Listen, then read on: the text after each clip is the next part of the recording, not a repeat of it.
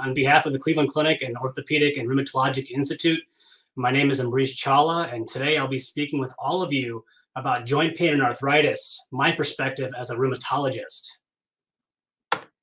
For today's talk, I do not have any financial interests or disclosures related to the content of today's presentation. Just a brief outline. Uh, I do want to talk briefly about some of the various etiologies of musculoskeletal pain in general, and then really focus on the different types of arthritis, some of the more common types of arthritis, and I'll break that down between non-inflammatory osteoarthritis and some of the rheumatologic inflammatory types of arthritis that we have here in our rheumatology clinic. So when a patient presents to my office and they say, Doc, I got arthritis, to me, that really means, okay, you have some sort of musculoskeletal pain. Then it becomes um, kind of the question to me as a clinician is, what is the etiology of this musculoskeletal pain? As arthritis, I feel, is kind of a catch all phrase for muscle pain, bone pain, tendon pain, and we need to do a little bit more of a focused exam and history to figure out the exact etiology so we can get the correct treatment algorithm going. So I know this is quite a busy slide, but this is actually what a joint looks like. I want to focus your attention on the bottom left-hand corner where it says within the joint. This is what we call arthritis or the articular surface. You see the ends of two bones, and then you see that kind of gray padding. That's the cartilage. And then there's in between that cartilage, there is a joint space filled with synovial fluid, and the lining of that surface is called the synovium. So when there's a pathology in this area, we call that arthritis. Of course, there are several other etiologies of musculoskeletal pain that can happen around the joint. These are what we call periarticular uh, structures. So the muscle to bone connections like tendons, the bone to bone connections like ligaments. There is the part where the muscle uh, connects to the bone, where specifically the tendon inserts into the bone called the enthesis. And there's also fluid filled sacs of fluid that help to lubricate the joint called the bursa. So we have a lot of patients who have you know, uh, rotator cuff tendonitis or trochanteric bursitis as a cause of their hip pain. We would manage these maybe a little bit differently than rheumatoid arthritis. And then, of course, we have a lot of patients who have pain maybe over their forearms or over their neck muscles or over their biceps. And these are what we call non articular myofascial pain. Uh, of course, patients have referred pain that can happen from maybe compression on the sciatic nerve causing pain on the leg during walking. And that's what we call as referred musculoskeletal pain. Looking closer into the actual joint itself, as I mentioned, there are a few different structures. The ends of the bone called the subchondral bone, lined by the joint cartilage, and then the lining of that is called the synovium. So as I will touch base on a few different types of arthritis today in my presentation, I want to make it very clear that different types of arthritis affect different parts of a healthy joint, anatomically speaking.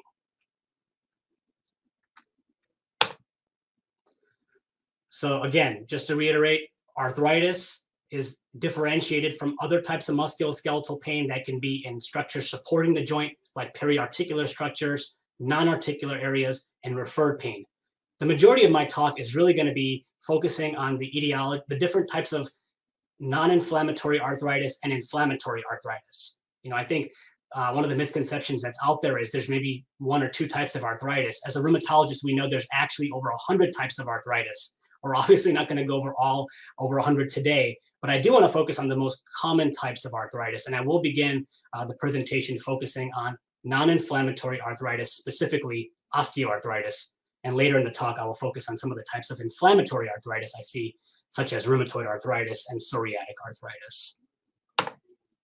So let's start talking about osteoarthritis, again, non-inflammatory arthritis. Why is it called non-inflammatory arthritis? Is it because the joints can't be swollen? No, it's actually the composition of the joint fluid. So in rheumatology and in orthopedics, we oftentimes do a procedure called a joint aspiration, where we can remove the joint fluid or the synovial fluid and test the composition of that fluid to see how many cells of inflammation are within that fluid. And in conditions like non-inflammatory arthritis, for example, osteoarthritis, we don't see very many white blood cells or cells of inflammation. So pathologically speaking, it is not really uh, thought to stimulate the immune system attacking the joint. Okay. Other names for osteoarthritis, if I say the acronym OA today, that stands for osteoarthritis, you probably have heard of wear and tear arthritis or degenerative joint disease. This is certainly the most common form of arthritis, and it is the leading cause of disability amongst older adults. The osteoarthritis burden in healthcare cannot be overstated. Really, uh, it's a, a, significant burden when it comes to healthcare costs and expenditure. Uh, the prevalence of osteoarthritis has really increased, estimated around 21 million in 1995, and estimated to about 67 million Americans by 2030. What I find particularly interesting is that 50% uh, of those with symptomatic osteoarthritis are actually less than 65 years of age.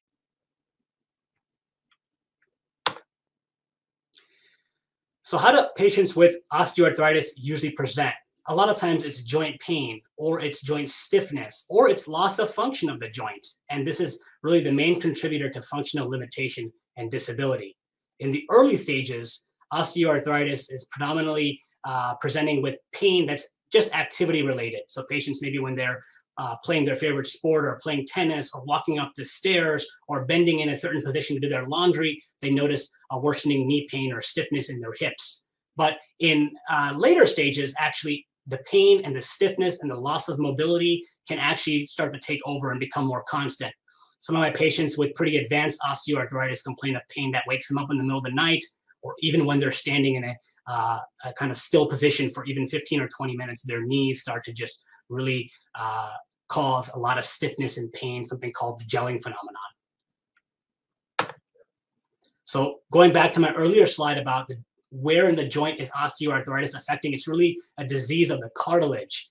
Over time, the cartilage starts to break down and the body starts to basically adapt to the years of biomechanical stress and joint loading that have taken place. And they do this by this term called bone remodeling and significantly forming bone spurs or osteophytes. And some folks come to me in the office with hand osteoarthritis with big bony bumps over their knuckles. And that can certainly happen uh, in osteoarthritis.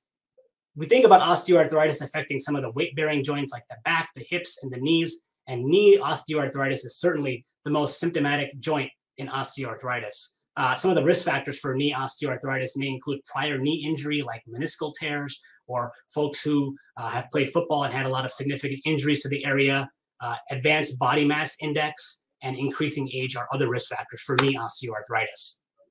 So as I mentioned, OA primarily affects weight-bearing joints, the knees, the hips, the spine. When osteoarthritis affects the back, we think a lot of times this phrase as degenerative disc disease. Um, and I want to also make very important, uh, importantly clear that the symptoms of osteoarthritis and the X-ray findings or radiographic findings do not always correlate with one another. Sometimes, you know, if we were to, if I were to X-ray everybody's knee in this office, we would see a significant amount of osteoarthritis or joint space narrowing. But do all of them have uh, clinically symptomatic knee osteoarthritis? Maybe not. And the same can be said vice versa.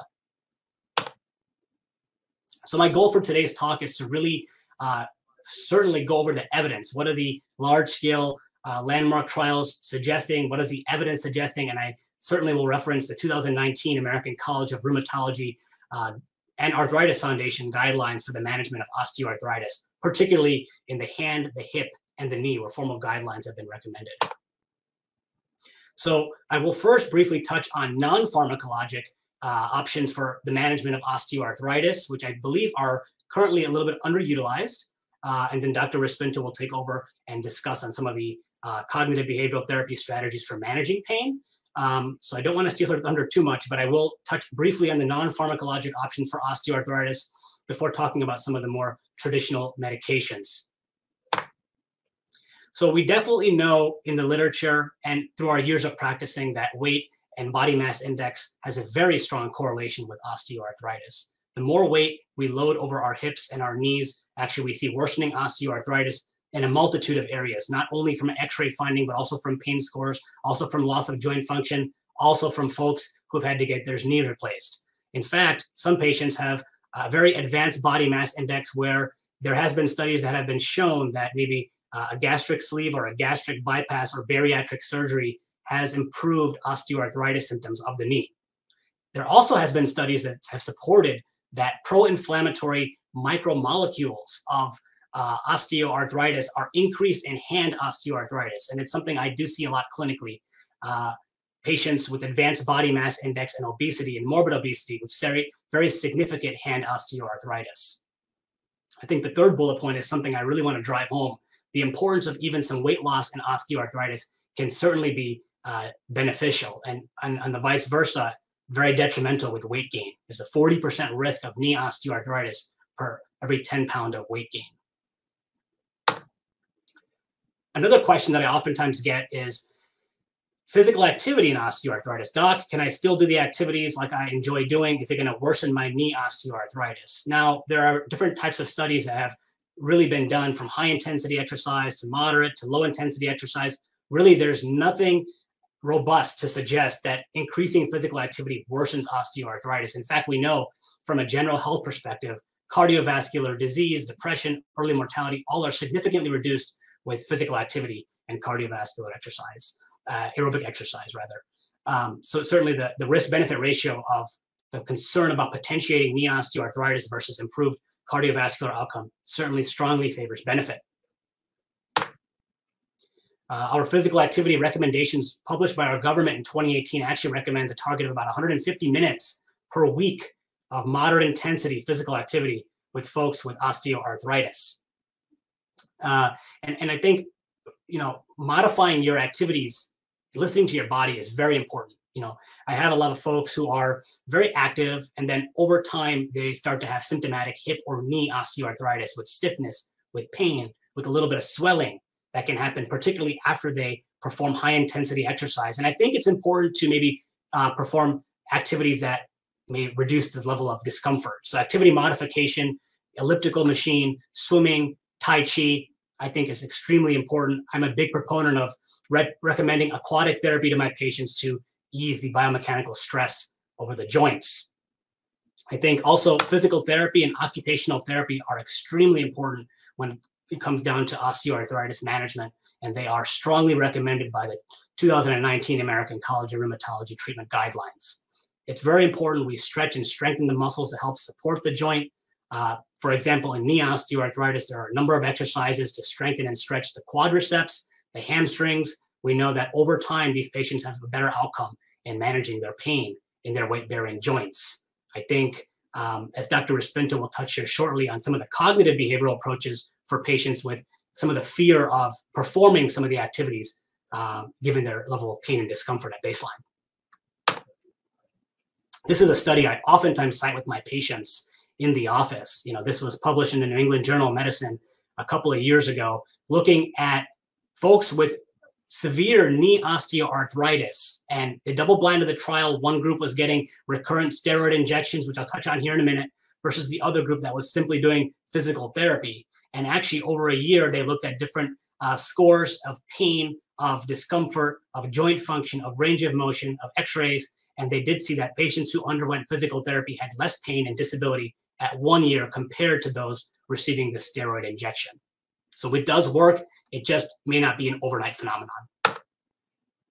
I also want to touch on some of these other modalities to offload the knee bracing. So in, in knee osteoarthritis, the inner aspect or what we call the medial component, a compartment of the knee is significantly affected with osteoarthritis. So there are some offloading knee braces available to uh, take some pressure off of that area. Uh, in folks with pretty significant uh, hip osteoarthritis, we do recommend using a cane on the opposite hand to offload the stress of the uh, hip osteoarthritis. Uh, there are other uh, modalities that are out there that the American College of Rheumatology gives a low level of recommendation for heating packs, ice, a TENS unit. And then, of course, I do think that complementary and integrative therapies should be strongly uh, looked into when it comes to Tai Chi, yoga, meditation.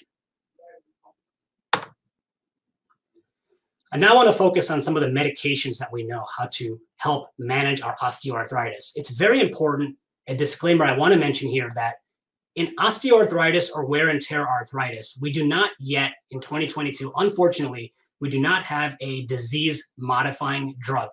Uh, we don't have a medication that's going to stop uh, the progression of osteoarthritis or pump the brakes and stop this process from occurring. I always tell my patients really, it's like a train that we know it's going to reach its end destination. It's about using the right combination of low risk interventions safely to slow that train's speed from getting from point A to point B.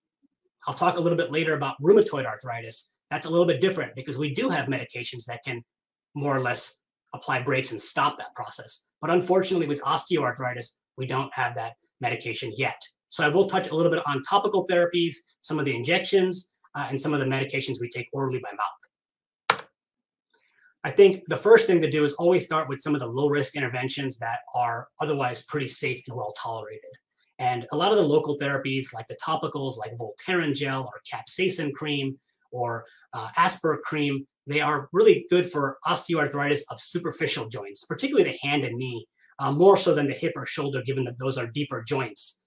Uh, so I'm a big fan of Voltaren gel. It's diclofenac. It's uh, more or less like a uh, Advil cream.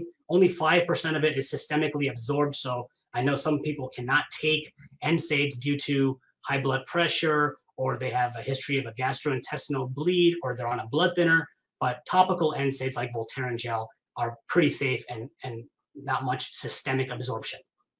There also is capsaicin cream, which is actually a derivative of the chili pepper. It targets a molecule called substance P, which is part of the peripheral nerve uh, pain uh, pathway, and it does help in that term of analgesia. Uh, the side effects, it certainly being a chili pepper derivative, can cause some stinging, some burning, some localized redness. So I always tell my patients maybe use some gloves when you apply it, remove the gloves, thoroughly wash your hands. You certainly don't want to touch your eyes after uh, using this kind of stuff. Uh, local therapies also include uh, topicals like menthol cream, lidocaine. In theory, they have good data to block some of the sensory nerves, but in clinical practice, uh, they are used, but a lot of my patients report that they don't maybe help the best, or they've tried them and then they're coming to see me. I also sometimes recommend paraffin wax bath. It's a, essentially a hot candle wax bath, and you, you dip your hands in there and it feels good from an analgesic standpoint. Again, this is not going to modify osteoarthritis or pump the brakes on the progression of osteoarthritis, but we know that these therapy uh, can be helpful and they're quite safe. I now want to touch a little bit about injections. Uh, we are giving different types of injections for some of the larger joints like knees or hips. And there are different types of injections. And I think each type of injection offers uh, pros and cons. Um, I generally inject knees and hands very often in the clinic, even some of the bursa of the hip and the shoulder. Uh, I do think the true hip joint for hip osteoarthritis should be uh, injected via ultrasound guidance. It's a deep joint. There's a lot of blood vessels and nerves in that area, and it should be done under either fluoroscopy or ultrasound where we can see the anatomy. The different types of injections I will be discussing uh, here in the next few minutes will be steroid injections, what we are known as cortisone injections. Uh, there is something called viscosupplementation or uh, Synvisc or hyaluronic acid, and there are some other types of injections that have uh, been making some news lately. Okay, um, so the first type of injection that we know that has been out there for quite some time that the American College of Rheumatology actually still has a recommendation for are the glucocorticoid or steroid injections. I oftentimes mix a little bit of steroid here as you see Kenalog or triamcinolone with a couple cc's or small amount of lidocaine just to make the injection a little bit more tolerable. Uh, we use a very, very small needle. So I think in in application, uh, the procedure sounds a lot worse than it is. I oftentimes hear from my patients, wow, doc, I didn't even really feel that. So um, I do say that because I met with a lot of anxiety for folks uh, who do not really uh, have an interest to have uh, injection. The, the data about knee osteoarthritis and steroid injections, it, it does support some sort of analgesic benefit. However, that benefit is pretty short lived, uh, doesn't usually exceed over three to four weeks or 20, 26 weeks, excuse me. Other uh, information I wanted to provide about cortisone or steroid injections. We usually don't uh, inject more often than every three to four months. There has been some data to suggest that long-term recurrent steroid injections are quite detrimental and they can actually uh, exacerbate cartilage, uh, cartilage breakdown. Um, so we don't have yet a, a set number of total number of injections that one can get in a lifetime. But when I hear folks who've had their knees inject, injected every three months for the last number of years, I try to be hesitant and explore other options. In my patients who have pretty advanced uh, diabetes or high blood sugar, I do uh, always counsel them that some of the steroid I'm injecting into the joint can be absorbed into the body, and we need to watch the blood sugars very closely. The other type of injection we give is hyaluronic acid, uh, which is viscosupplementation. These are oftentimes by trade uh, Synvisc or Orthovisc. Hyaluronic acid is a substance that we all have in our joint fluid to lubricate the joint. So it is a synthetic lubricant. It is FDA approved only for knee osteoarthritis. And the thought is that if we inject it into the joint space, can we increase the amount of lubricant within the joint space or can it help to regenerate cartilage? And really, the, the studies that have been done, organized and formal uh, literature review and studies that have been done for visco supplementation do not support that this actually does create more space. How, however, on the flip side, I have had patients who have reported some sort of analgesic benefit. So I do think there is a role for visco supplementation. However, I would not certainly turn to it as a first line option for knee osteoarthritis. Again, some of the advantages overall, it's it's not much of a systemic toxicity. There's not, you know, whatever is absorbed, we don't have to monitor the blood sugars or the blood pressure as we might if we give a steroid injection. And there are really no long-term detrimental effects that have been reported. Uh, but like I said earlier, it's not always effective and it does certainly take some time to kick in. These uh, PRP injections or platelet-rich plasma injections have certainly made a lot of noise in the last few years, just given the paucity of options we have for osteoarthritis, particularly knee osteoarthritis. And again, the idea here is to kind of provide growth factors for our body's cartilage to stimulate some sort of repair. And again, we don't have any large scale studies to really support PRP injections. Um, some patients are receiving different formulations and not the exact amount of mixtures. So it's really hard to uh, make a generalized statement about PRP. There's a concept called prolotherapy, where sometimes joints are injected with dextrose or sugar to sort of cause a localized injury to stimulate the immune system's natural response to start the healing process. But again, limited studies have been performed and there's no currently clear benefit to these uh, types of options. Botox has also been studied, but not effective per large scale studies. Uh, oral medications for osteoarthritis. I'm sure several of you on the uh, call today have tried a number of these options, whether it be acetaminophen or different types of NSAIDs. I do want to touch on some of the other options we have, like duloxetine and tramadol, and some of the new supplements that are on the horizon. Acetaminophen, Tylenol, uh, you know, I, I'm very cognizant that this medication is not the end all answer for osteoarthritis. And many of my patients have tried it and it's not helping their pain. But I oftentimes with my patients and the dialogue I have with them in the office, I oftentimes realize that maybe they're not on the higher dose and they're not taking it as frequently as they can. From an oral medication standpoint, Tylenol is quite safe, uh, certainly safer than the NSAIDs, which I'll talk about here in a moment. Uh, I do recommend arthritis strength Tylenol, 650 milligrams, as long as my patients aren't exceeding 2,500 to 3,000 milligrams in a 24 hour period. I feel that it's relatively safe. Of course, if we have consistent use of high doses of Tylenol, particularly over 3,000 milligrams, there's a concern for liver toxicity. More effective drugs for osteoarthritis include the NSAIDs. When I say NSAIDs, I mean non-steroidal anti-inflammatory drugs. And these are what we call COX inhibitors. The COX is cyclooxygenase. It's an enzyme part of the inflammatory cascade. So ibuprofen, naproxen, Advil, Motrin, Aleve, these are the ones that we see over the counter. But oftentimes we prescribe prescription strength NSAIDs in the office meloxicam, Celebrex, diclofenac. These certainly have more side effects systemically compared to Tylenol or acetaminophen. They can increase the risk for irritation of the stomach lining, we call gastritis. They can increase the risk for GI bleeds. So I definitely stay away from these kinds of drugs. If a patient has had a history of peptic ulcer disease, they can increase the risk of kidney injury. Again, I stay away from these drugs in my patients who have already some chronic kidney disease. And it's also important to recognize that these drugs cannot be used in patients who are on blood thinners or who maybe have a history of a gastric bypass surgery or inflammatory bowel disease like ulcerative colitis or Crohn's disease, as NSAIDs in these background conditions can certainly exacerbate overall uh, disease state. I want to make it very importantly clear that osteoarthritis and musculoskeletal pain in general is managed in a multimodal approach. There are many team players when it comes to osteoarthritis.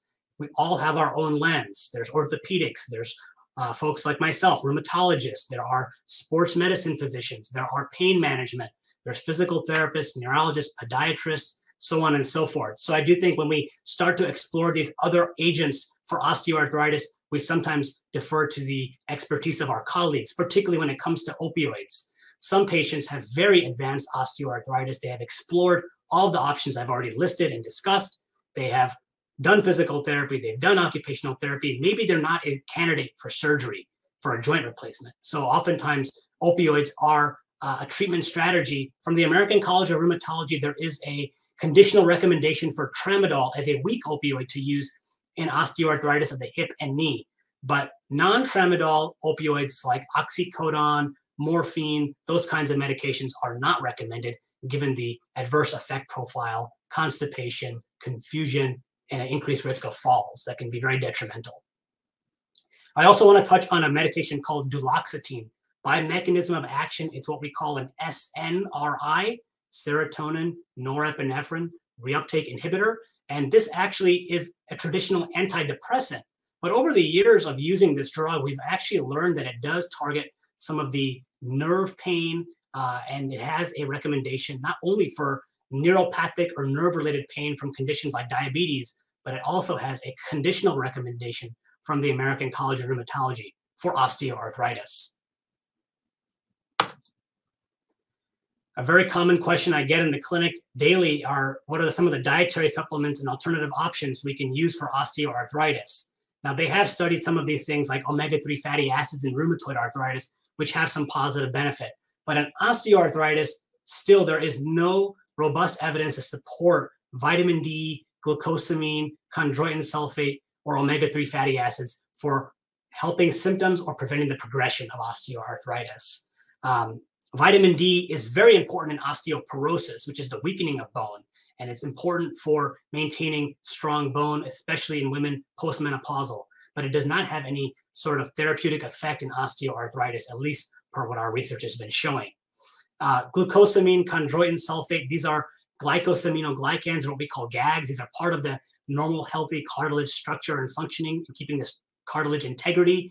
But it is very unclear that an ingested tablet of chondroitin sulfate will increase actual joint cartilage. And uh, our funded studies from the NIH have not shown any sort of uh, effectiveness of this compared to placebo. The studies on fish oil have also been a little confusing. If fish oil was thought to be helpful for osteoarthritis, we would expect high doses of fish oil to be even more uh, beneficial. However, the studies have actually shown that low dose fish oil was more beneficial than high dose fish oil. So that kind of uh, makes the whole concept of fish oil being beneficial in question to begin with. The American College of Rheumatology guidelines do not actually formally recommend vitamin D, glucosamine, chondroitin sulfate, or fish oil omega 3 fatty acids uh, in part of the treatment algorithm for osteoarthritis.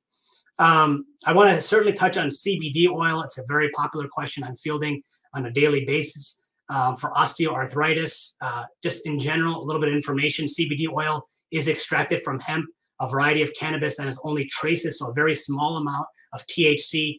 Uh, really, to be honest with you, most of my patients who have used CBD oil tolerate it quite well. Uh, and even from a uh, large scale um, clinical uh, perspective of seeing patients use CBD oil for a number of years now, there really has not been any major serious safety concerns that have been associated. Uh, and, and CBD oil certainly might help outside of some of the pain, but it might help with some of the anxiety and sleep aspects that can be disturbed from significant uh, pain and osteoarthritis. Again, you know, with regards to opioids, tramadol, and even the radiofrequency ablation procedure, we oftentimes defer to our pain management colleagues. Uh, radiofrequency ablation is what we call the genicular nerve block. It's when the pain management colleagues of ours will help to, um, the easiest way I explain it is to kind of zap the nerve that can be contributing to osteoarthritis pain, particularly around the knee. This is really uh, an option for patients who are more or less unfit or not deemed safe for a joint replacement or who have had failed a joint replacement and they still have symptomatic osteoarthritis pain. So I really hope that during my career, I'm able to see some sort of transformation in osteoarthritis therapies as my colleagues have in rheumatoid arthritis. Um, we are studying a few different types of medications to, again, target some of the nerve-related pain, inhibition of nerve growth factor, tanezumab, fasinumab. They have been having some positive studies on pain response. However, uh, the studies with concomitant use with NSAIDs, these medications actually showed an increased risk for rapid osteoarthritis progression and causing dead bone or osteonecrosis. So for those reasons, it has not yet been approved by the FDA for osteoarthritis. Other drugs are targeting the fibroblast growth factors, the um, biomechanical mechanisms of knee repair and joint repair to try to improve cartilage thickness. But yet, at this point, we don't have any clear uh, evidence that these medications are working in a beneficial way. There has been some positive preliminary data about a bisphosphonate, a drug we use in osteoporosis called Reclast or zoledronic acid. Uh, there were some studies that were recently published showing bone marrow edema on an MRI as part of osteoarthritis, and perhaps this medication reducing that signal in folks treated with Reclast or zoledronic acid. So that's something that we will certainly uh, keep our eyes on as we move forward. When all these different medications and, and non-pharmacologic options and interventions with pain management have failed, I think it's reasonable to talk to an orthopod or an orthopedic surgeon about joint replacement, whether it be the hip or the knee. And the indications for joint surgery is really when we have a total loss of function of the joint, severe pain, unresponsive to medical therapy, and non pharmacologic therapy. These are my patients who are waking up at night with severe pain in their hips or severe pain in their knees, who can't stand in one place over 20 minutes from significant pain, or who can't even walk one block, or can't even do the things on a day to day basis that help them around the house, like climb stairs or button their shirt or uh, things like that, where it's time to really look at is there something that can help me pass medication? So my summary slide for osteoarthritis. Uh, unfortunately, our management still remains on symptom and function improvement. From my angle as a clinician, it's using the right combination of medications safely. Unfortunately, we do not yet have a disease modifying drug in osteoarthritis that's going to really alter the structural progression of osteoarthritis. As I mentioned earlier, the train is going to reach its destination at some point, it's about slowing the speed of that train with weight loss, with physical therapy, and the right combination of medications I highlighted. Um, I do think that some of these non pharmacologic physical modality approaches like occupational therapy, physical therapy, weight loss are certainly the mainstay of treatment, but are currently underutilized. Um, as I mentioned, weight loss and avoiding knee injury is important for knee osteoarthritis. NSAIDs are still the first choice from an oral medication standpoint, and we're certainly looking forward uh, to some of our studies for the novel pharmacologic approaches going forward in the management of osteoarthritis. The second part of my talk now will be uh, dedicated to the types of arthritis that my expertise really uh, is, is, is useful for. It's the inflammatory or autoimmune arthritis. So again, inflammatory arthritis, because if we do a joint aspiration, if we put the needle in the joint space and we remove that uh, synovial fluid and we test the composition of that fluid, we see lots of inflammatory cells or white blood cells. And now we think really the person's, uh, the patient's immune system is attacking the synovium or the lining of the joint. In rheumatoid arthritis, this is a very common uh, type of inflammatory or autoimmune arthritis, which is distinct from osteoarthritis. It does affect 1% of the population, uh, and females are affected more than men. And typically, the women are in their middle age from 40 to 60, and usually men are diagnosed at a little bit of older age. Like all autoimmune conditions, we think that these types of autoimmune diseases happen in folks who may have a genetic predisposition, and then maybe they have some sort of environmental insult. Maybe they had a virus, or maybe they were smoking, or maybe there was another traumatic event that maybe made their immune system a little bit vulnerable and had them express that disease from a phenotypic or physical exam standpoint. I do want to make a very strong association with smoking with rheumatoid arthritis. Uh, we do look at a couple of antibodies or blood markers in rheumatoid arthritis. One of the antibodies is called CCP, which I'll talk about here in a minute. And smoking uh, has been shown to increase the uh, formation of that antibody. So, what is the major modifiable risk factor for rheumatoid arthritis? It's certainly to stop smoking.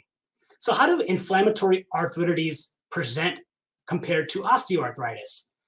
You know, osteoarthritis we think as patients with weight bearing joints, the back, the hip, the knee, worse at the end of the day, tons of stiffness, worsen with activity. Rheumatoid arthritis and types of autoimmune inflammatory arthritis really have a mind of its own. They start causing a lot of symptoms right in the morning when patients wake up. My patients with RA oftentimes wake up, they have big, red, warm, puffy, swollen knuckles. They have a difficult time closing their hands. They're really stiff in their wrists or the base of their toes, and it really takes them a while to get moving. In fact, oftentimes I hear patients stating they're kind of stuck in bed for a while, very stiff, even sometimes over an hour. Um, a lot of red, warm, puffy, swelling joints, especially the small joints like the wrists, the bottom set of knuckles here, the middle set of knuckles here. And in rheumatoid arthritis, these uh, symptoms are almost always predominantly symmetric and bilateral, meaning affecting both sides. Uh, and oftentimes these patients have what we call flares, a worsening exacerbation of periods of increased inflammation. So on the left is our kind of American College of Rheumatology uh, classification criteria for making a diagnosis in rheumatoid arthritis. Now, to even apply that box where you see all these serology and labs and duration, to really even apply this, you have to, as a clinician, see evidence of joint swelling. And now, when I say swelling, I mean the knuckles or the wrists. It's not a swelling that's bony and feels like a golf ball or hard. It's a squishy, warm, spongy kind of swelling that really hurts when you press it. And it feels kind of hot and warm. And that is what we think of as inflammation. When we see that in conjunction with symmetric bilateral symptoms of small joints, positive markers for rheumatoid arthritis, like CCP antibody I mentioned earlier, or rheumatoid factor, or markers of inflammation in the blood, we try to think maybe this patient may have rheumatoid arthritis. On the right, you see a picture of advanced rheumatoid arthritis and joint deformities uh, you know, 30, 40 years ago when we didn't have these great medications for rheumatoid arthritis, this was very common. We're fortunate now to be practicing in an era of rheumatology where we have so many great pharmacologic options to prevent our patients from uh, having these kinds of joint deformities. So the picture on the left really goes over the pathogenesis of rheumatoid arthritis. Again, it's an autoimmune disease. What does autoimmune mean? Autoimmune means your body's immune system that protects you from infections and, and bacteria and viruses, it actually starts to overactivate and attack the lining of your joints called the synovium. So as you see in the top box, you see a healthy joint with synovial membrane around the cartilage. But then in rheumatoid arthritis, the immune system really is infiltrating the synovium, causing it to be very inflamed and causing localized cartilage destruction. Over time, we do x-rays every few years to monitor for erosions or loss of bone. As I had mentioned earlier, in my patients who have rheumatoid arthritis, I'm a big proponent of smoking cessation, as it has been shown to improve rheumatoid arthritis symptoms as well as uh, long term sequelae of joint deformities. Uh, we oftentimes treat the symptoms of some of the flares with NSAIDs and low doses of steroids like prednisone but we also, at the end of the day, are fortunate to have what we call disease modifying drugs in rheumatoid arthritis, medications that have been proven to slow the progression down of the inflammation and the formation of these erosions. One of the drugs that we use very frequently in rheumatoid arthritis is a disease modifying drug called methotrexate.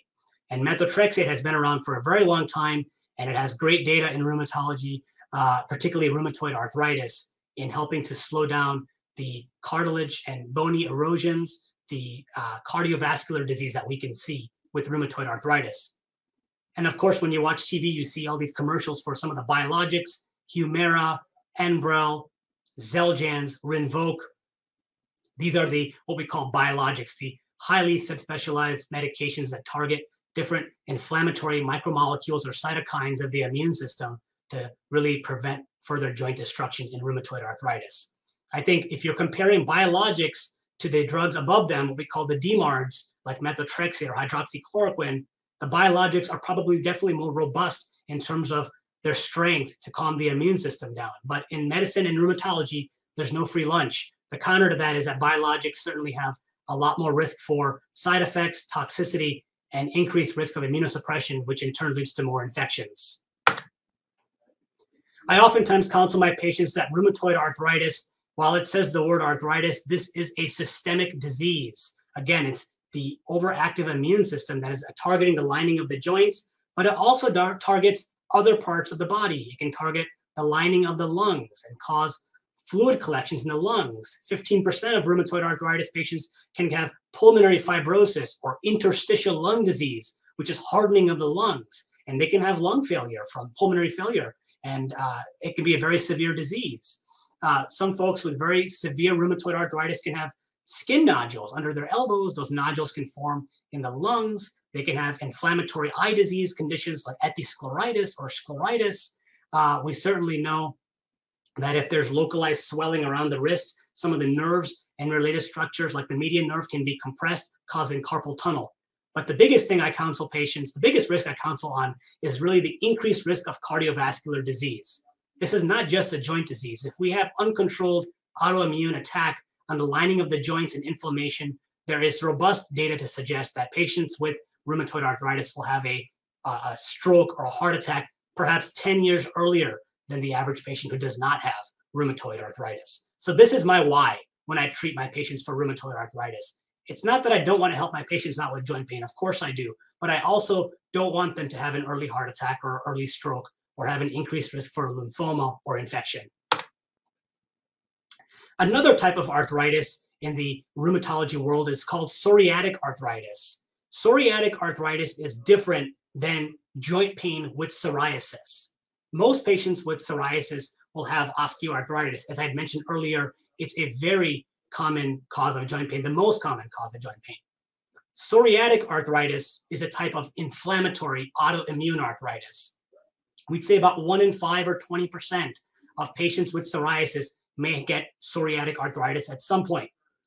Most times, those patients will have skin psoriasis, then start to develop some of the cardinal features of inflammatory arthritis red, warm, puffy, swollen joints, uh, morning stiffness, it's very prolonged, difficulty closing the hands.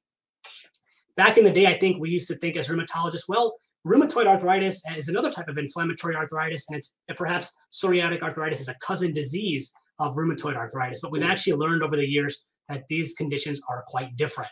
Uh, psoriasis and psoriatic arthritis can do a couple of different things that we don't see in rheumatoid arthritis. For example, the nails can be really affected, which I'll show in the next picture, with pitting or denting of the fingernails. There can be a lot of inflammation around the tendon and what we call sausage, sausage fingers or sausage toes, where the whole finger or the whole toe looks diffusely swollen, a term we call dactylitis in our world. There also can be localized inflammation of the insertion sites of the tendons. The picture on right shows two very common areas, the base of the Achilles tendon inserting into the heel bone, the calcaneus, and the covering of the bottom of the foot causing plantar fasciitis. There also is a risk for axial disease or spinal involvement or sacroiliitis in psoriatic arthritis. And of course, pa patients are at increased risk for uveitis and iritis with eye involvement. These are some photos I wanted to share about the, the interesting phenotype and physical exam features we can see in psoriatic arthritis. Uh, particularly on the top left, if you notice that patient on the left photo, the, the toe, the second to last toe, the fourth toe is what I'd call a sausage digit or a dactylitic toe. That's a very classic hallmark in psoriatic arthritis. Uh, the picture at the bottom of that, you see some separation of the nail from the nail bed, uh, a term we call uh, onycholysis. Uh, picture on the top right is some pitting and denting of the fingernails you see. That's called nail pitting in psoriatic arthritis. Uh, that inflammation of the Achilles tendon on picture B on the bottom right is what we call an enthesitis. And then again, another dactylitic toe there on picture D in the most bottom right, uh, which is again a sausage toe. Like rheumatoid arthritis, uncontrolled psoriatic arthritis unfortunately does have systemic consequences. Increased risk for cardiovascular disease, increased risk for non-alcoholic fatty liver disease, which can cause cirrhosis, and an increased risk for metabolic syndrome, insulin resistance, type 2 diabetes, high cholesterol, which is obviously plaguing this whole country. Uh, some of the treatment strategies for psoriatic arthritis, you'll see some of the lists of meds here. Yes, some of these drugs we use both in rheumatoid arthritis and psoriatic arthritis. However, the recent guidelines from the American College of Rheumatology and the National Psoriasis Foundation have recommended patients with moderate to severe psoriatic arthritis, we start them on a biologic right away, like Humira or Enbrel, as compared to rheumatoid arthritis, where still the gold standard is to start with methotrexate, which is what we call a disease modifying drug and not a biologic. There are other options that we use exclusively in psoriatic arthritis that we do not use in rheumatoid arthritis. Drugs you may have heard of like Stelara, Cosentyx, Taltz, Tremfya, and very recently Skyrizi received FDA approval in the management and treatment of psoriatic arthritis. I have to certainly men mention about gout, given that this is the most common cause of inflammatory arthritis, roughly affecting 4% of the population. It does affect men more than women. Um, and we know that gout is technically rare in premenopausal female because estrogen helps to decrease uh, uric acid in the blood. So we all have uric acid in our blood. Uric acid is a turnover marker uh, that our cells break down and make.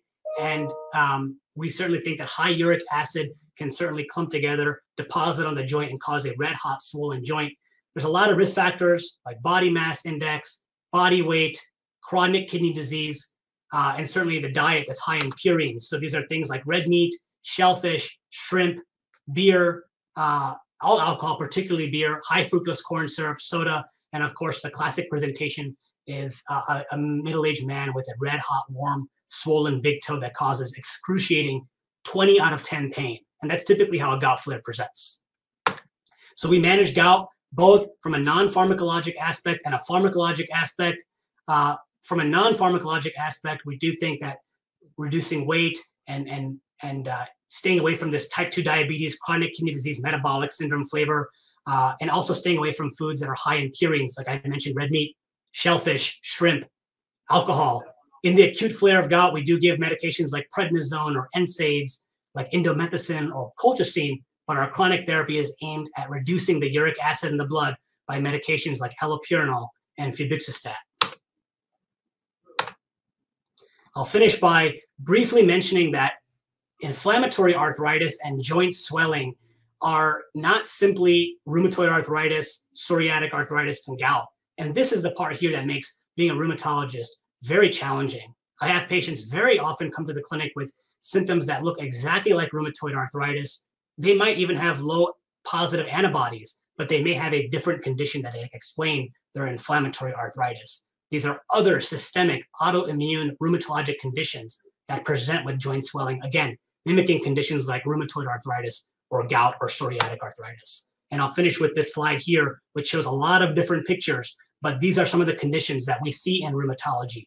On top left, you see a young woman with this very classic malar rash, a photosensitive rash that happens after sun exposure over the nasal bridge and over the sides of the face. This can be associated with inflammatory joint pain. In the middle picture on top, these are very unfortunate looking uh, skin ulcers that we can see in a condition called dermatomyositis, which is the autoimmune attack against the muscles and the skin. The picture on top right are blood vessel dilatations or telangiectasias we can see in our patients with scleroderma. Again, all these conditions can present with joint swelling. In the middle row, you see that picture of the hand discoloration, something we call Raynaud's phenomenon. Unfortunately, a lot of our conditions are blood vessel disorders or vasculopathies, which can cause uh, symptoms like Raynaud's phenomenon. Unfortunately, on the right picture, you can see a, a, very unfortunate appearing CAT scan of the chest looking at very fibrotic lungs. So we do see interstitial lung disease or hardening of the lungs or pulmonary fibrosis and a lot of our conditions.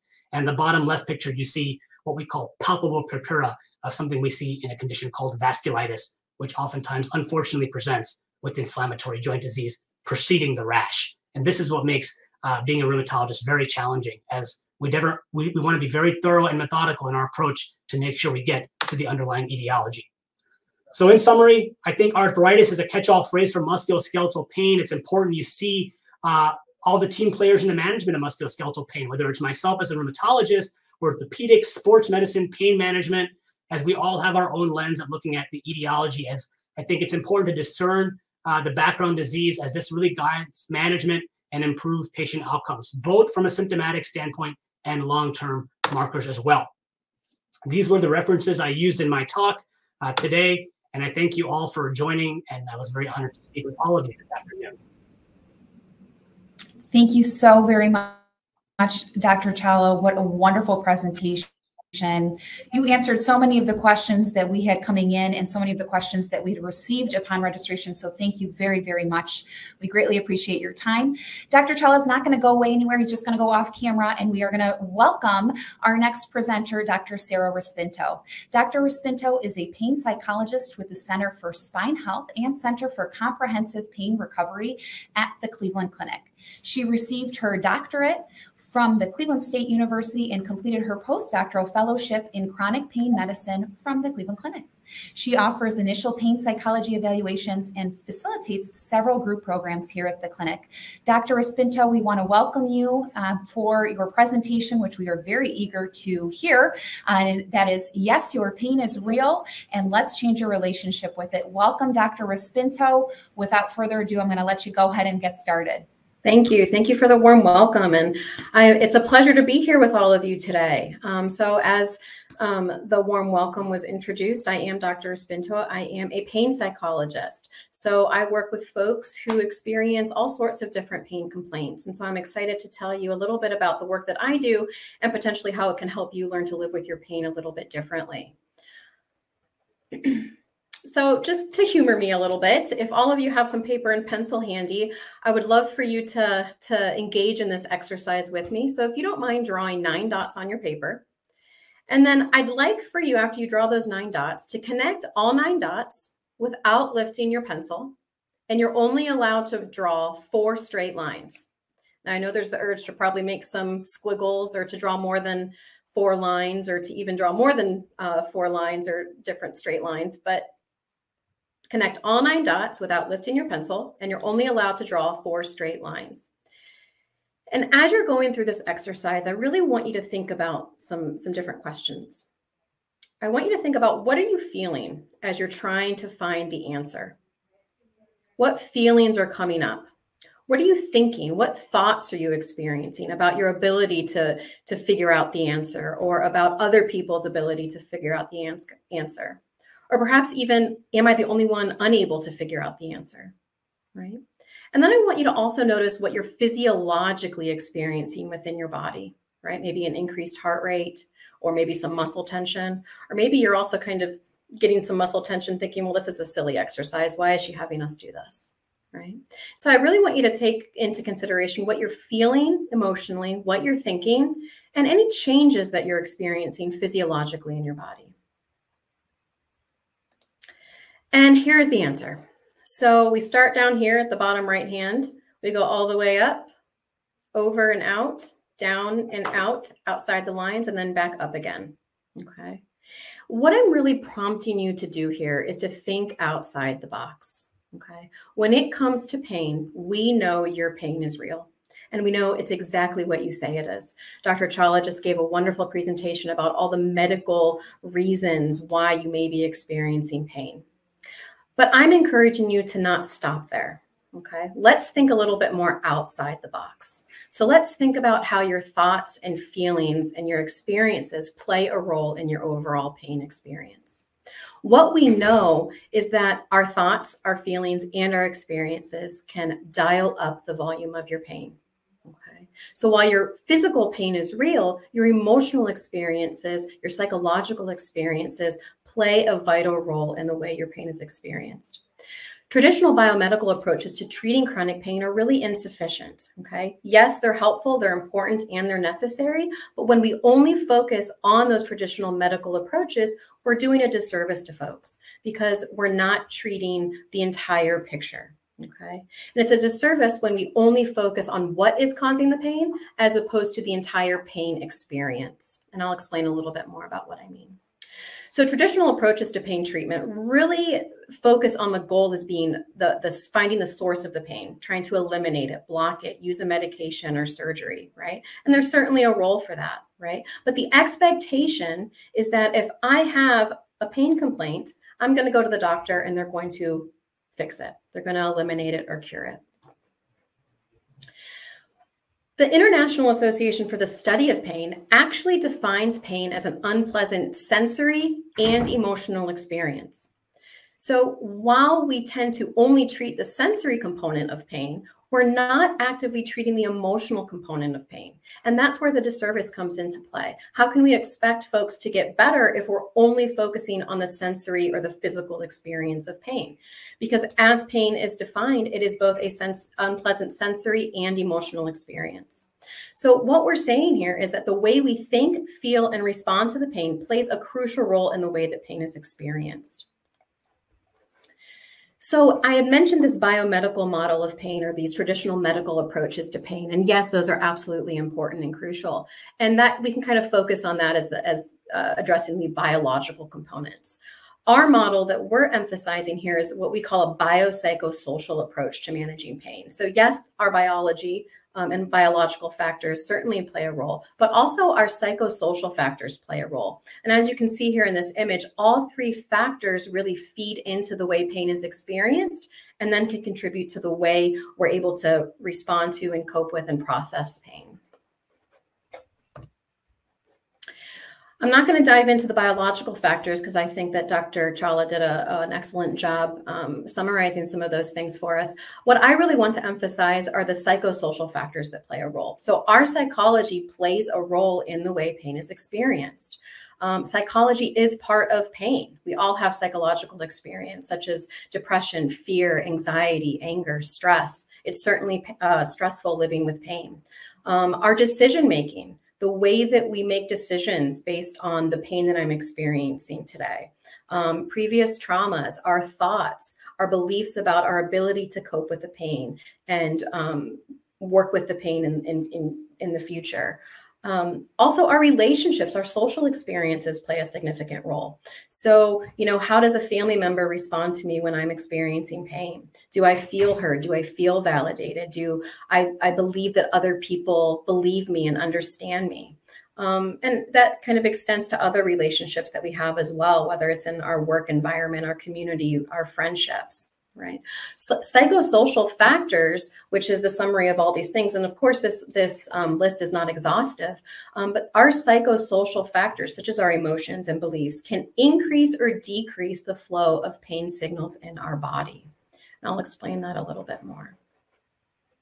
So how can you change your relationship with pain? We know your pain is real. We know it's exactly what you say it is. And your psychology plays a large role in the way pain is experienced What's interesting is that physical pain and emotional pain are processed in the exact same part of the brain. Okay. So while our physical pain is real and it's exactly what we say it is, we also experience things like stress, anxiety, fear. Am I going to be able to get through this pain? What's tomorrow going to look like? How am I going to go grocery shopping? Right. And those thoughts also play a role right? Our brain doesn't know how to differentiate between the physical pain that we experience and the emotional pain that contributes to it. So I'm not suggesting that our emotions or our psychology causes the pain. What I am suggesting is that there's a relationship between the physical pain that we experience and the emotional um, suffering and pain and our psychological experience that that um, that we that we have. And that's because physical pain and emotional pain are processed in the exact same part of the brain. A lot of the interventions that we use um, or that I use as a pain psychologist really aim to empower you to change your relationship with pain and rewire the sensitivity of your nervous system. This is not going to cure the pain um, or you know fix any medical condition that you may be experiencing. But what we aim to do is empower you to change the dial, change the focus, rewire the sensitivity of your nervous system, dial down the volume of your pain and the associated suffering that may be um, connected with that.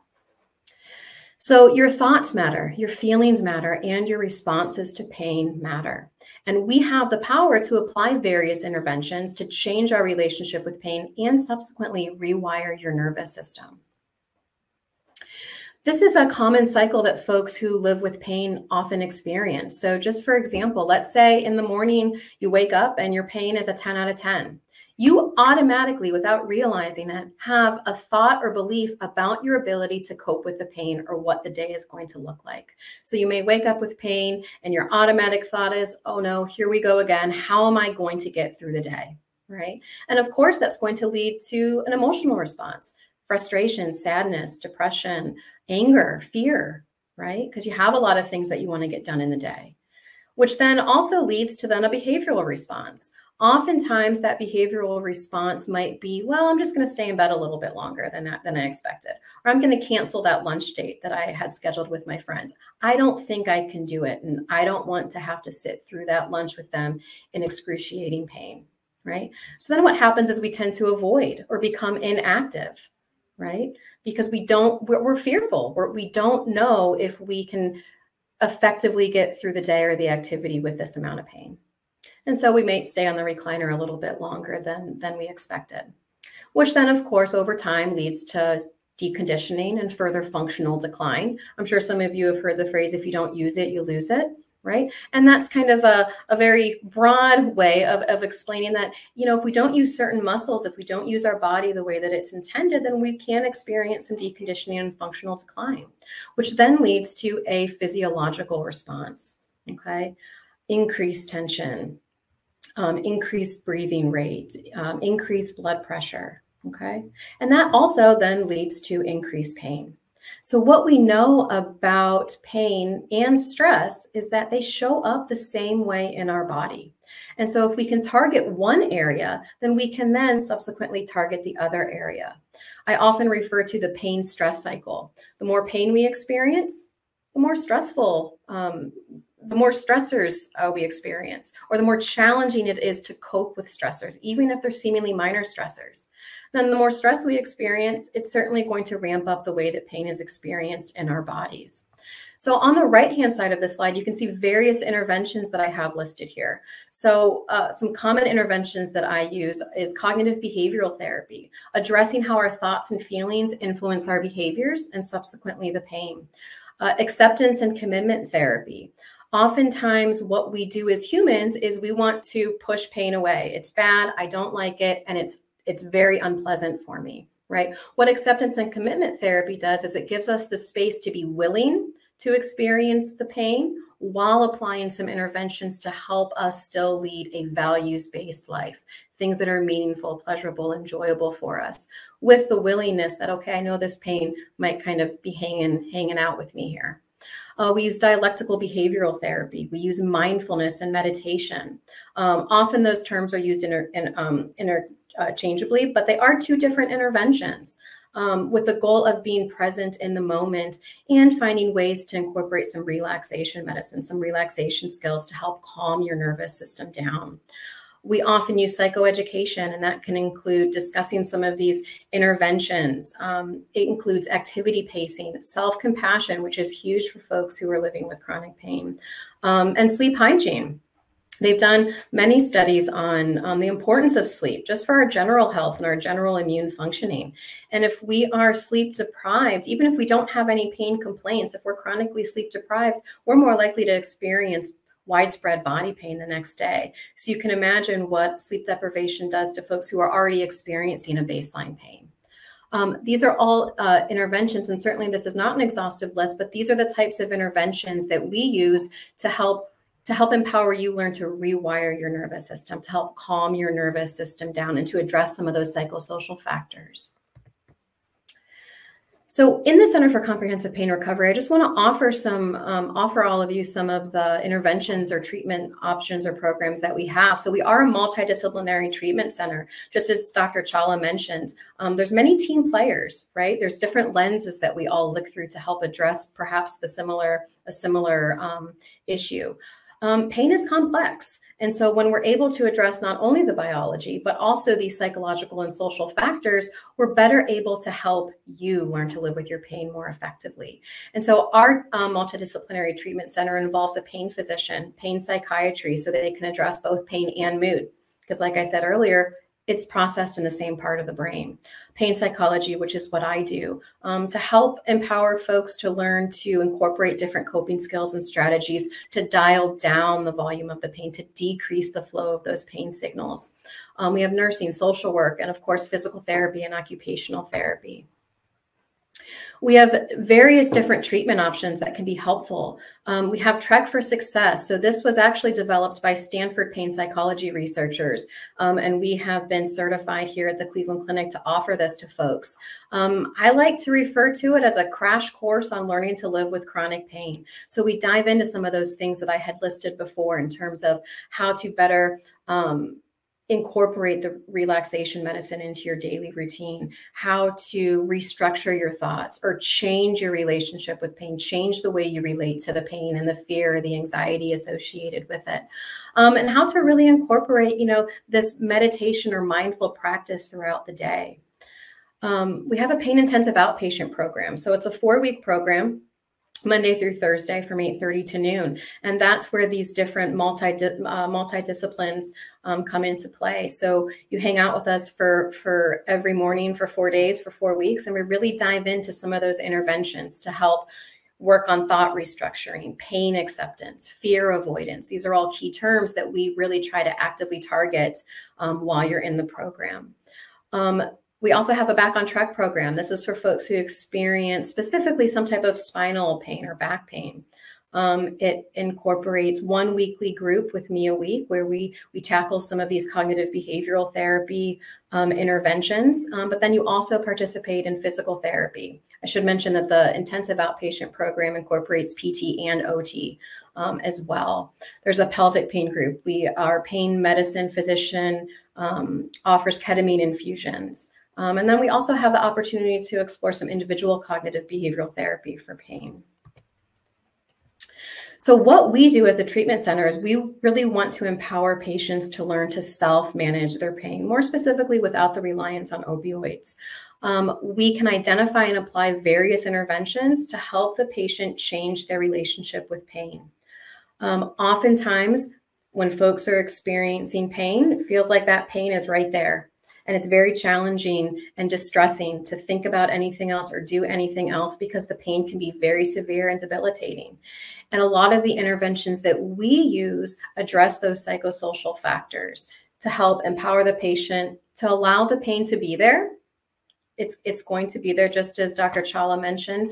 Um, you know, it's kind of like the train, right? But how can we apply interventions to help the pain? Okay, it's a lot. It's it's there. I know it's there but how can I decrease the volume of the pain? How can I change my relationship with pain so it's not stopping me from doing what I enjoy or things that I even have to do? And so we really incorporate positive coping strategies um, to help the patient um, experience improved pain control, improved function, and of course, a better mood. So the key takeaways that I that I'm really um, hoping to share with all of you is that we know that your physical pain is real, right? And there there may be a medical or biological basis to that pain that you experience. We also know that physical pain and emotional pain are processed in the same part of the brain. And so while it's important to address the physical components of pain, it's equally as important to also address the emotional components of pain. Pain is certainly stressful and it can interfere with one's quality of life. And so, if we're able to target some of the stress, the anxiety, the sadness, the fear associated with pain or otherwise, we're able to then target the flow of those pain signals. We're able to either dial up the volume of the pain or dial down the volume of the pain. And folks who are able to effectively address these psychosocial factors all the medical treatments and interventions that your doctor will try will actually be more successful because this your your brain won't be unwittingly working against you and having these unpleasant thoughts about your pain or your ability to work with the pain. And so these psychological interventions including but not of course not limited to relaxation medicine, thought restructuring and self-care and all of these things kind of in combination um, can help you change your relationship with pain and the associated distress that it may cause. I appreciate all of you willing to think outside the box with me. So thank you.